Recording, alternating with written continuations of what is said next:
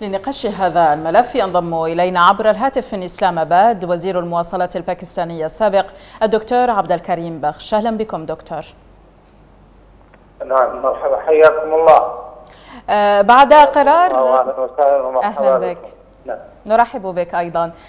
دكتور بعد قرار باكستان بطرد سفير الهند وتعليق التجارة مع نيودلهي إلى أي مدى تتجه الأمور في باكستان نحو إعلان تأزم الأوضاع؟ وكذلك الاتجاه نحو مواجهة عسكرية.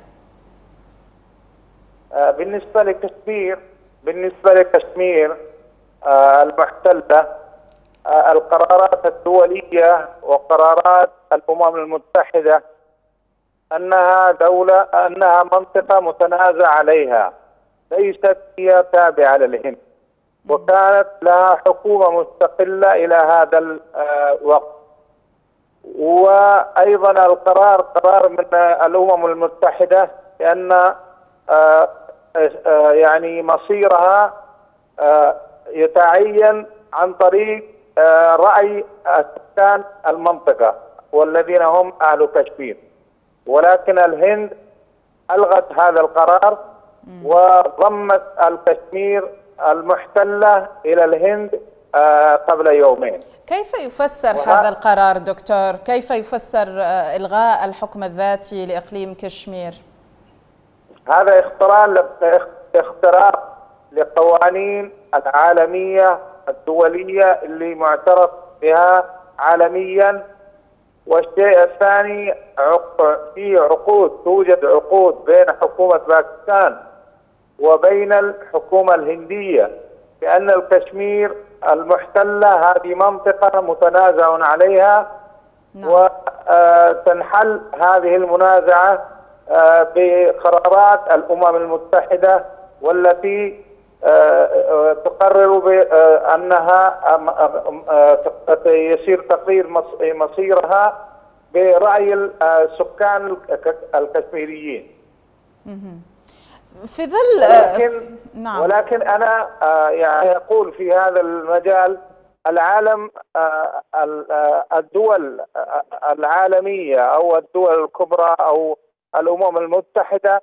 عندها معيارين معيار تعامل لمشاكل المسلمين ومعيار التعامل لمشاكل غير المسلمين.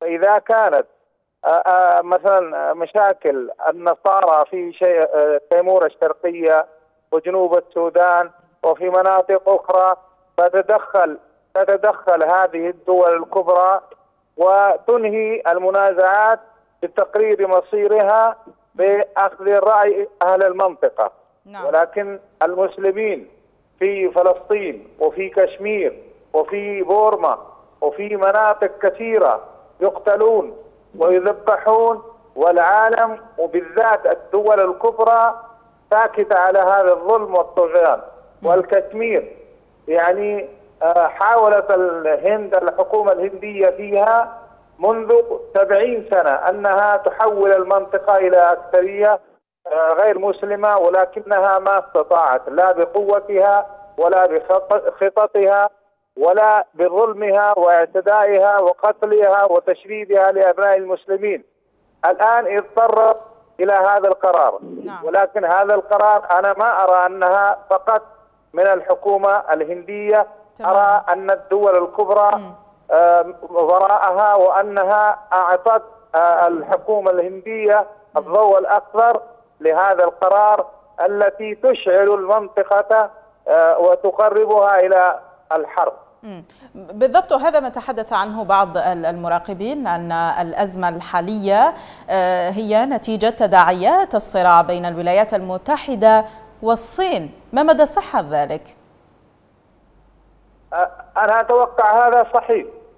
هذا صحيح يعني أن أمريكا هي التي أعطت الضوء الأخضر للهند وعملت الهند هذا الشيء. ولكن باكستان لم تسكت على ذلك. باكستان دولة نووية مثل الدولة الهندية مثل الحكومة الهندية. فباكستان لن تسكت ولن تتراجع عن مساعدة أو تعاون إخوانها في كشمير. هم أهلنا وهم إخواننا. فنحن ندافع عنهم مثل ما ندافع عن بلدنا باكستان. وإن شاء الله ما نتركهم وإن شاء الله تفشل هذه الخطط الهندية مثل ما فشلت أكثر من سبعين سنة الماضية. وإن شاء الله تفشل هذه هذه لا تصير إسرائيل أو الهند. نحن لا لا نخليها تصير إسرائيل في منطقتنا. وكشمير ما نخليها تصير مثل فلسطين. إن شاء الله ندافع عن كل شبر من دكتور هل ما زلت معنا؟ يبدو أننا فقدنا الاتصال إن شاء الله ندافع. نعم. دكتور دكتور عبد الكريم بحديثكم عن هذا التحشيد ودعم باكستان لكشمير كيف سيكون مستقبل الأيام المقبلة لهذا الإقليم في ظل التصعيد على الجانبين الهندي والباكستاني؟ الهند الآن يعني تعمل مظالم في في الكشمير. تقتل ابنائها وتشردها وهي التي منعت مواقع التواصل أوقفت والواتساب وكل والأخبار وكل شيء وهي تعمل الظلم والاضطهاد والطغيان في الكشمير المحتلة ولكن نعم. مع هذا أهل كشمير صامدون وأيضا الرأي العالمي العالم الإسلامي كله المملكة العربية السعودية وأيضا تركيا والدول الأخرى الدول الإسلامية وأيضا الدول الصديقة مثل الصين وغيرها كلها تؤيد موقف باكستان وكلها تؤيد حرية كشمير وكلها تستنكر ما فعلته أو ما تفعله الحكومة الهندية. فنحن نشكر هذه الدول الصديقة ودول الإسلامية نشكرهم وإن شاء الله نحن نواجه هذا الظلم والطغيان إن شاء الله بكل ما نملك من يعني كل ما نستطيع إن شاء الله نواجه هذا الظلم والطغيان ونحن نقف جنبا إلى جنب بإخواننا الكشميريين. شكرا جزيلا لكم وزير المواصلات الباكستانية السابق الدكتور عبد الكريم بخش كنت معنا عبر الهاتف من إسلام آباد.